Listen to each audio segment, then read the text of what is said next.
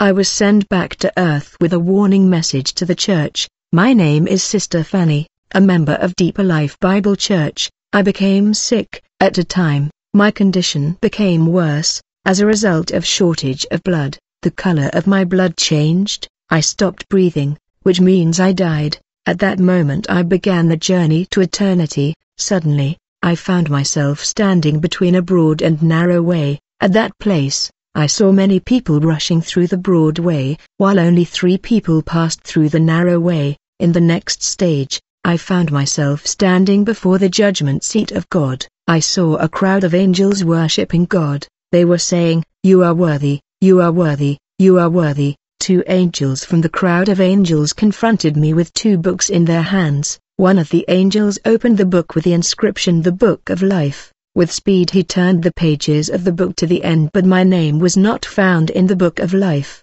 He opened the second book with the inscription, the book of death. He also turned the pages very fast.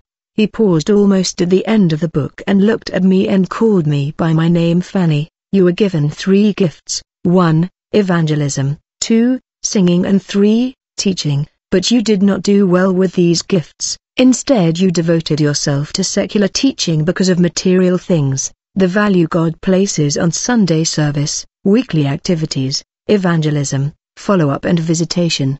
The angel asked me, did you attend church service last Sunday before you became sick?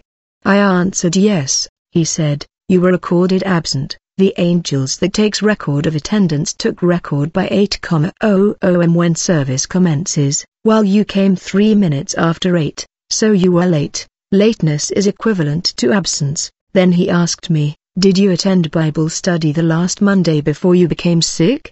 I said yes, but you were late. He said you were mark absent. He asked me did you attend the midweek service on Thursday?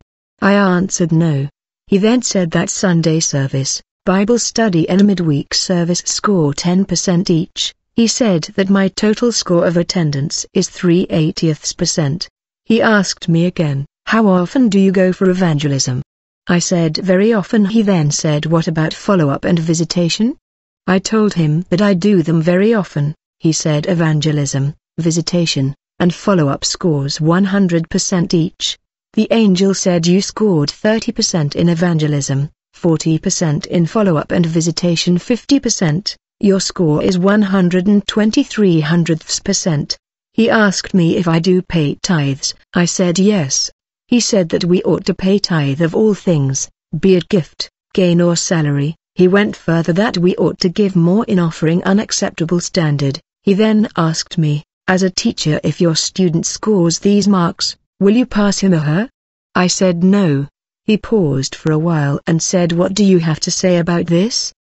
By then I was shivering because I knew that I was in trouble. I saw below, the acceptable standard Daniel 5:27, 27 You have been weighed on the scales and found wanting, Hebrew 12:28 Wherefore we receiving a kingdom which cannot be moved, let us have grace, whereby we may serve God acceptably with reverence and godly fear. The other angel who had been silent said with a loud voice, your unfaithful servant, take her to hell. When I heard that voice, I was terrified, I wish I could disappear or escape but there was nowhere to hide or escape, I wept bitterly before the angels, pleading for mercy, unfortunately, their faces remained motionless, they were not moved by my tears and weeping, but as I continued crying and pleading for a second chance, the angel who was talking to me said show her hell, I saw many people who are crying bitterly in hell, Ten strokes of whip was given to me as a warning for being unfaithful servant. The whip was so painful that I was shouting instead of crying,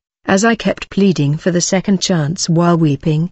The angel said to me go back to the world and amend your ways at that moment, I woke up shouting fire, fire, fire. The heat of hellfire was so terrible that I couldn't understand the pain. Lessons to learn 1. A Christian neighbor is not supposed to go to hell. 2. The mission of every Christian is to make heaven and to take along as many people as possible. If you fail this you have failed God. 3. Anything you prefer doing instead of serving God is your idol. 4. When people choose wrong priorities they regret at last. 5. If you accept Jesus Christ, you accept life. 6. The life of a man does not consist on his possessions. 7. Christianity is the ability to represent Christ wherever you go. 8. Without soul winning, your Christianity is incomplete. 9. Be careful not be unfaithful servant. 10. What are you doing to get your neighbor saved?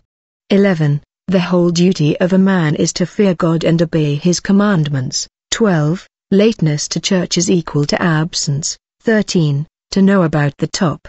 Ask from those coming from the top. 14. Ask God to judge your life and reveal any secret error to you, so that you can amend your ways before the judgment day. 15. Always ask for the forgiveness of sin on a daily basis, salvation message and repentance. If you wish to escape the eternal fiery burning torment of hellfire in order to make heaven, you must accept Jesus Christ as your Lord and personal Savior today because tomorrow is never promised. You must restitute and confess all your sin unto God and also ensure you join a Bible-believing church for more spiritual growth. However, if you are a Christian and still indulges into various kinds of sins such as envy, anger, unforgiveness, lying, hatred, malice, murmuring, gossiping, stealing, taking or giving bribe, exams malpractice, fraud, smuggling and robbery, perhaps you into masturbation, fornication, adultery,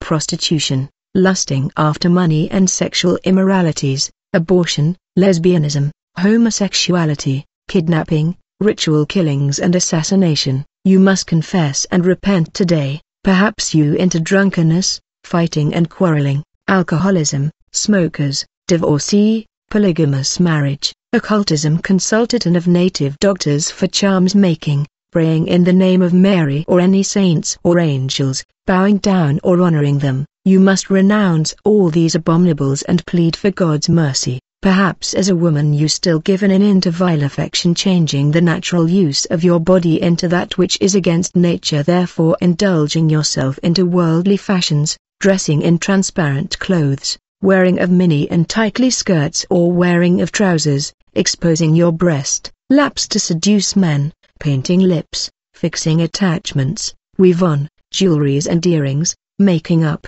putting on extra eyelashes, piercing of noses, tattoos, nails fixing and body bleaching, you must repent.